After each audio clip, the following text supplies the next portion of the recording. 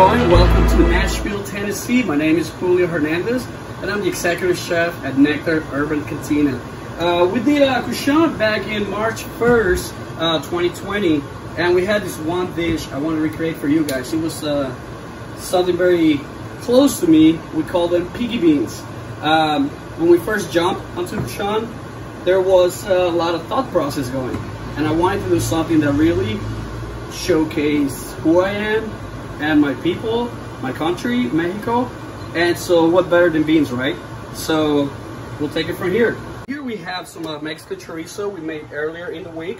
Uh, this guy, we used uh, ground pork. We used uh, some of the shoulder and the butt.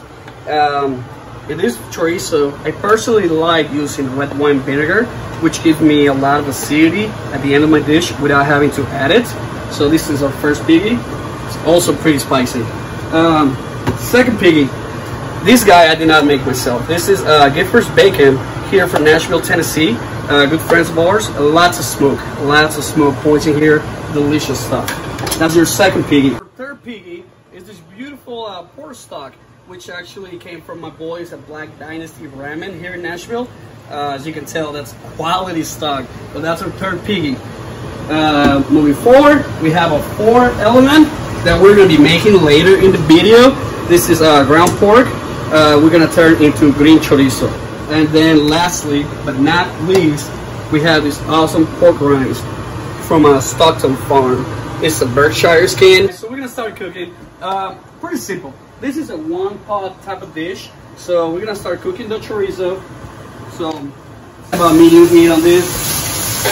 Let it go. Just a little bit of oil when you do chorizo. You want a tad of oil because you're gonna render some fat, but you need oil. You don't want it to get stuck to the pot. On your chorizo, you don't really need to go crispy. Uh, crispy chorizo is really good, but that's not what we're shooting for. We're just kind of cooking these, letting some fat out, and then uh, just put it to the side. We'll fold it back into the dish later on. Now that we got our chorizo out and waiting for us, it's time for uh, piggy number two. You gotta Gifford's bacon. Add some smoke to the dish. So again, we're not looking for crispy. We're just looking to bring those flavors out and render down some fat. So now that we got our um, second piggy nice and rendered down, we're starting to develop a couple layers. If you were here, you will be able to smell the smoke. You're in your kitchen, you're at home. It's okay to do this. Put in the same plate, save yourself a little work. Just uh, mix these two together because later we're gonna fold them in again. And then make sure to save some of that fat in there because we're about to start cooking some veggies. So next step, we, we talk about veggies. So we're gonna go ahead and start folding our mirepoix. For those who don't know what mirepoix is, it's the beginning of everything good. You got onion, celery, carrots. We're gonna start with onions. Really want to develop a nice caramelized onion in there. So let that guy go by itself for a good 10 minutes or so. At this stage, you're looking pretty good. That's a nice onion. You can tell it has some of the flavor of the bacon, the chorizo. So feel free to add your remaining of the mirepoix. And keep an eye out. A little oil.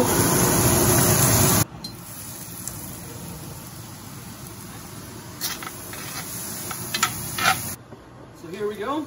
We got our mirepoix. Nice caramelized. Look at that, guys. Next, we're gonna go with garlic. Uh, it's never enough. Next, we have some uh, roasted poblano peppers.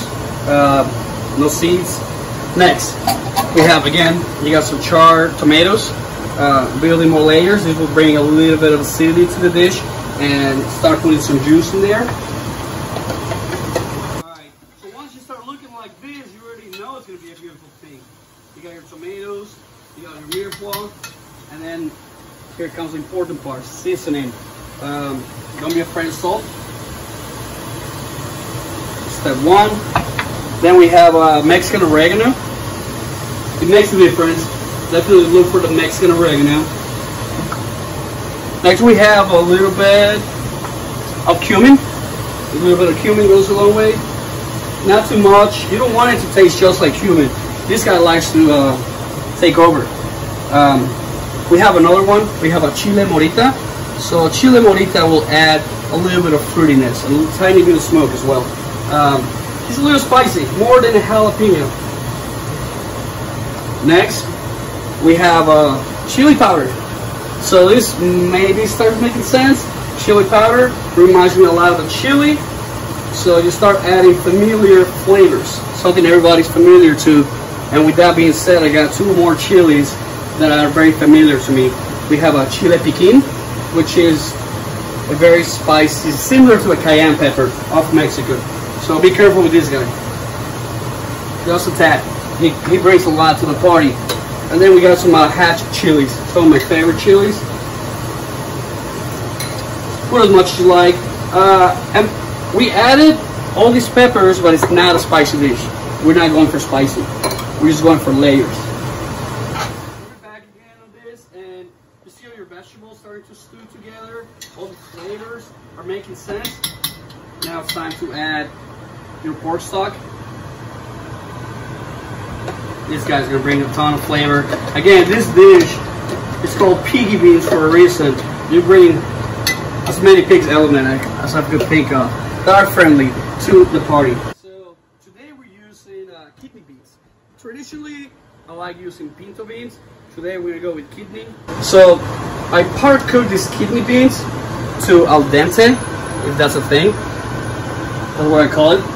And all you gotta do is fold in your al dente cooked kidney beans. There's no shame in using canned. It also works. And then on this one, you also got kidney beans, but I saved some of the bean stock. You know bean stock as well. So next, remember these guys. We got these two guys coming back into the party. It already looks pretty good. Look at that. So you're adding back all this flavor onto the dish. And then this can be a crock pot dish. You release the dish, let it roll, go to work, come back, get you some good stuff. Now that we have our uh, piggy beans simmering, the next step is making some green chorizo. So we got some ground pork right here. Some of the ingredients, um, I put it to the side. So we got avocado leaves. Uh, this reminds me of a good barbacoa. So I got some peas for this recipe. A little bit of cumin.